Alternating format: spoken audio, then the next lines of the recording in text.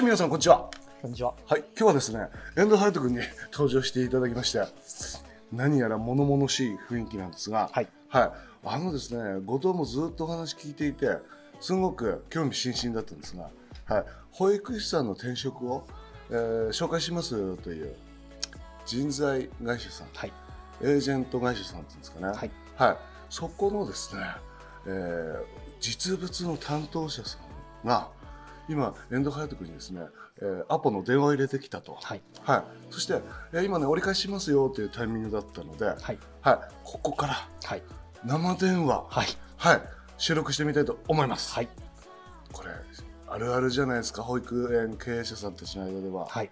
はい、ということでかけてみますので電話の画面も撮ってみますはキラリ保険の運営サポートしている遠藤と申します。今日は人事担当の関係で、あの皆様に実態をお伝えするとともに、どんな流れになるか、はい一発勝負で行ってみたいと思います。思いますはいそれでは、ポチッとかけさせていただきま。すした最大でお電話ありがとうございます。申します。お世話になります。キラリ保育園の遠藤と申します。お世話になっております。すいません。あのー、あ折り返しのご連絡ありがとうございました。はい。こちらこそ。あの、保育士さんでご提案された方いらっしゃったんですけども、はい。はい。あの、4月からの方、ちょっと別のところで決められてしまいましたということでして、ああ、そうですか。あの、はい、そうなんです。ただ、あの、4月からではないんですけども、あの、5月、ゴールデンウィーク明けからの方ならとご提案したい方いらっしゃいまして、はい。はい。ちょっと、求人の状況いかがでしょうか、現在。ちなみに、どちらの保育園になりますかキラリ保育園の中で。あの、多摩城の方で、あの、いかがかなと思っておりまして、はい、わかりました。多賀城ちょっとあの産休等々の予定もありまして、あの人員欲しいなというところでありまして、あそうなんですね。はい。ちなみにどんな方ですか？あ少々お待ちください。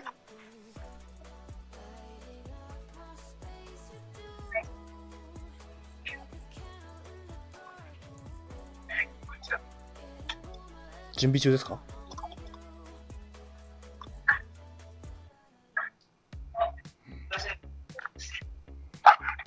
はい、どうぞ。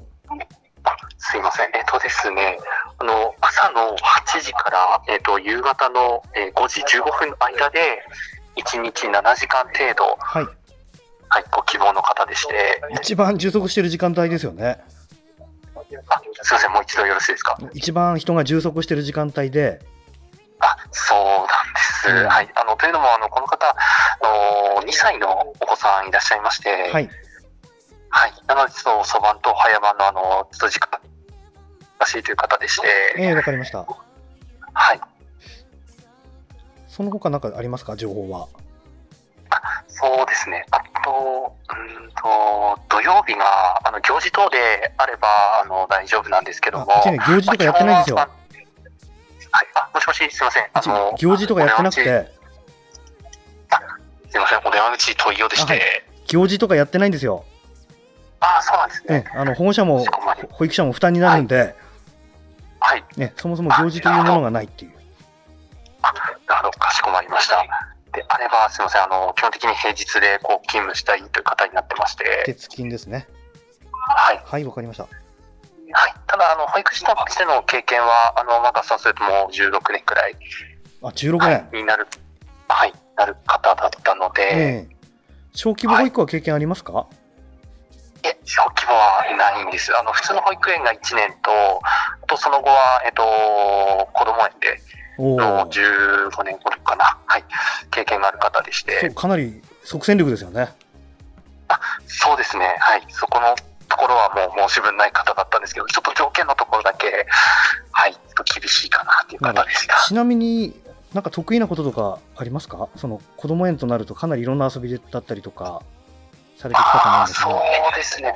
すいません。そこまでの情報は、あの、お伺いできていなくてですね、申し訳ありません。うちね、ピアノできる人今求めてるんですよ。あ、なるほど。ピアノですね。えはい。あと、ご本人のところに、あの、ここの、はい、ピアノは、の、確認してみまえ。す。うん、わかりました。ちなみに書類とかこの方得意ですか、あ、書類の作成ええとか、って決案、ことですか？終案。はい。そうですね。そこもちょっと確認しますね。わかりました。はい。ちなみに、お便りとか、あ、すいません。あ、そうね、お便りお便りはね、別に大丈夫なんですよ。あの、こちらではい。まとめて作るので、円で。はい。はい。保育指針ってこの方理解されてますか？すいません。確認させていただいてもよろしいですか？申し訳ありません。保育士なんでね、やっぱり保育指針深く理解してないと、16年もいたら相当理解してるはずなんで、はい。ええこちらとしてはもうそのぐらい読んでてよって感じなんですが、あはい。かしこまりました。ちなみにごめんなさい、ちょっと戻るんですが、即戦力ってどの辺を指しますか、こちらで指す即戦力とちょっとズレがあると困るので、はい。あ、もうそうですね。あのー、と、あの、具体的にこう言葉でご説明差し上げるのは難しかったんですけども、あの、と、3月までは、あのー働いてる、現職で働いてる方でしたので、まあ大体みんな働いてますよね。はい そうですね、すいません。あのーはい。もう直近まで現役というところだったので、はい。まあ直まあそうい直近まで現役で、プロ野球選手じゃないからブランカでも大丈夫ですよ。あ すいません。はい。ちなみにうちのいわゆる即戦力っていう指針に関しては、保護者目線とかはい倫理観っていう表現で使ってるんですけど、あ、はい。まずは保護者目線や倫理観、この辺ってどうでしょう？保護者対応。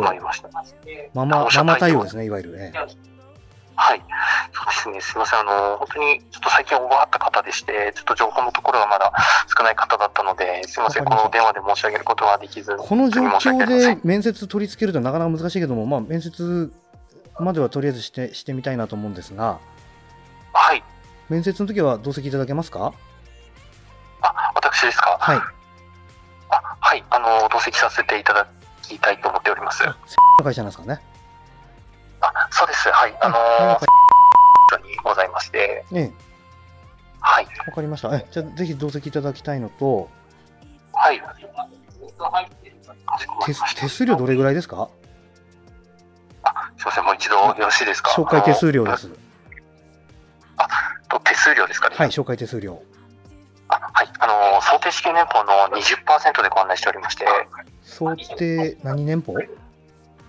あ想定支給年俸です。ね。ああの、年収の、はい、20%です。今回のケースはおいくらになります。かそうです。ね。あのー、7時間かけるはい、年収に、はい、7時間かけ月収る、等にも、まあ、おおむねちょっと知りたいんです。が、はい、7時間かける5日、はい。あ、す。いません。あの、もう一度よろしいです。か。はい、7時間かける5日、かけるかける5 4週、まあ、仮に時給が1000円としましょう。はい。おいくらですか？